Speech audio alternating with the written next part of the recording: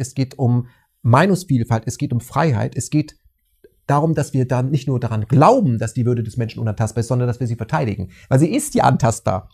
Das ist ja nicht so, dass sie nicht antastbar. Wenn man Kinder dazu zwingt, Maske im Unterricht zu tragen, wenn Elternräte sich durchsetzen, sagen, selbst in den Pausen dürfen Kinder nicht trinken, wegen der, dann ist das ein Verbiegen, das ist, ein, das ist eine Straftat meiner Meinung nach. Und da muss ich sagen, Leute, da seid ihr übers Ziel hinausgeschossen, aber ihr seid eben durch Propaganda reif geschossen worden, dass ihr sogar äh, Körperverletzungen in Kauf nehmt, um eure Kinder zu schützen.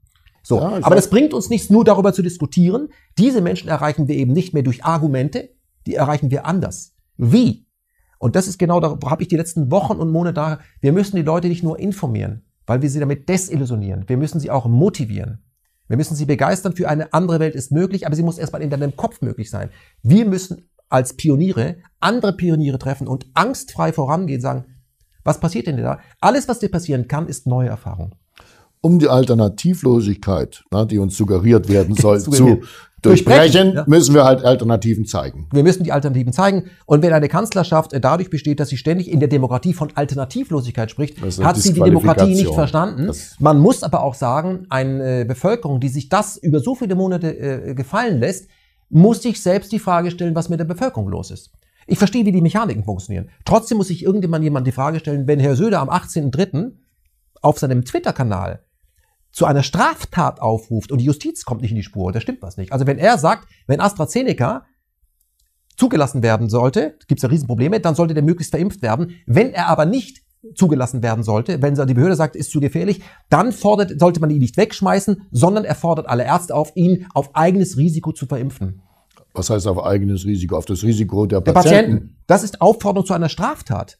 Das ist Wahnsinn. Und wenn ein solcher Mann äh, auch noch angesehen wird, da stimmt irgendwas nicht. Und da stelle ich mir die Frage, was ist mit der Bevölkerung inzwischen los, dass sie so obrigkeitshörig ist, dass sie das einem durchgehen lässt. In diesem Staat stimmt, stimmt schon sehr vieles nicht mehr. Ich rede nicht darüber, dass wir einen Veterinärmediziner haben im RKI, einen Drosten, der noch nie einen Patienten gesehen hat, und einen Bankkaufmann im Gesundheitswesen. Das alles ist schon Wahnsinn.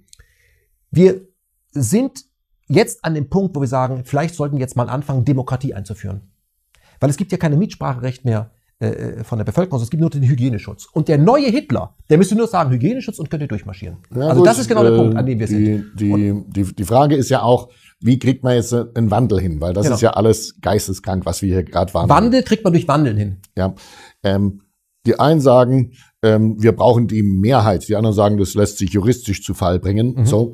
Ähm, andererseits mit unseren Gerichten habe ich ja inzwischen auch schon ein paar Zweifel ne, über die Mainstream-Medien, ja. die äh, verhindern, dass äh, die Menschen, ja, wie soll ich sagen, an Demokratiespiel wirklich teilnehmen können, weil sie müssen ja Alternativen auch äh, gezeigt bekommen, um zu entscheiden. Mhm. Ja, ähm, da haben wir ja auch schon drüber gesprochen. Also der Wandel ist ein tiefgehender, ja, so. Und die Frage ist, ob wir den Plan folgen, den die Missetäter uns quasi vorlegen, oder ob wir einen eigenen Plan haben. Es gibt kein überzeugendes Argument, als es selber zu tun. Und wie sehr wir Propagandaopfer sind, können wir daran erkennen, wenn wir hier ein paar Meter runtergehen, gibt es dieses große Bild, wo dieser DDR-Soldat mit seinem Helm über diesen, über diesen Zaun drüber springt, wo mhm. die Mauer nicht fertig ist.